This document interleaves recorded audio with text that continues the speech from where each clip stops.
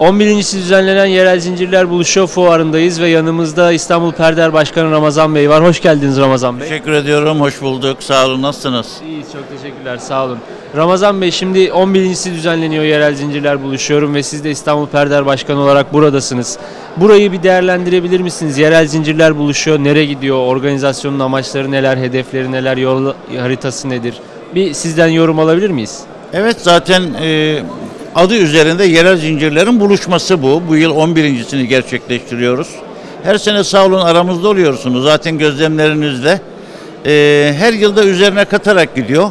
Tüm Türkiye olarak yapıyoruz bunu. Türkiye Perakendeciler Federasyonu olarak gerçekleştiriyoruz. Ben İstanbul Perder Başkanıyım ama TPF'ye bağlı bir derneğinde başındayım. Dolayısıyla bu etkinlikte İstanbul Perder'in yaptığı bir etkinlik gibi gözlemliyoruz. Aynı zamanda da ben Türkiye Perakendeciler Federasyonu Yönetim Kurulu üyesiyim. Etkinliğimiz gayet iyi, heyecanlı, fevkalade, katılım da güzel, coşkulu. Tüm Türkiye yerel perakendecileri burada, tedarikçilerimiz burada, üreticilerimiz burada, onların çalışanları burada, bizim profesyonellerimiz burada. Bir buluşma noktası, sektörün sıkıntı ve sorunları varsa onu panellerde ve konferanslarda e, işliyoruz, değerlendiriyoruz. Nasıl çözüm üretebiliriz birlikte konuşuyoruz. Peki bu senenin e, teması değer. Değer kavramını nasıl yorumluyor? Türkiye Perakendeciler Federasyonu nasıl yorumluyor? İstanbul Perder nasıl bakıyor bu konuya? Biz biliyorsunuz her sene yaptığım yerel zincirler e, etkinliğine bir e, isim belirliyoruz. Bu yıl ne koyalım ne koyalım çünkü o grubun içerisinde ben de varım.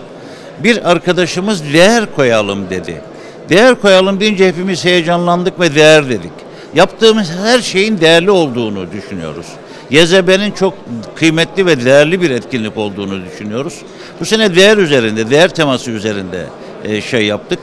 Bu e, birazcık da yerel perakendenin artık birbirine daha çok kaynaşması, dayanışması gerektiğini, bunun bir değer olduğunu ve değerli bir kavram olduğundan yola çıktık.